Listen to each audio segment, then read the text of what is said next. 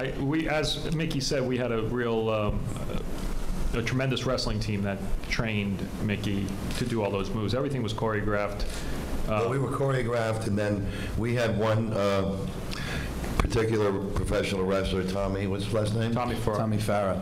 Tommy Farah? Tommy Who Farah. was Mickey's So main when trainer. we- Yeah, we would have everything choreographed, and and we'd be standing around huffing and puffing, and uh, all of a sudden, Tommy's his name? Tommy, yeah. Tommy would, would do this fucking crazy move, and I'd go, oh, I want to do that.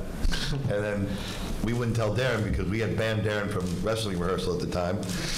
And uh, so we, every time Tommy would kind of do something that was really tricky and far out, I, I would say, oh, I want to do that move too. And so I'd come in on Sundays and not tell him that we were incorporating these other kind of scissor moves into it, and it was kind of challenging and fun. And by that time, I kind of got my head into it, and I really wanted to impress Darren.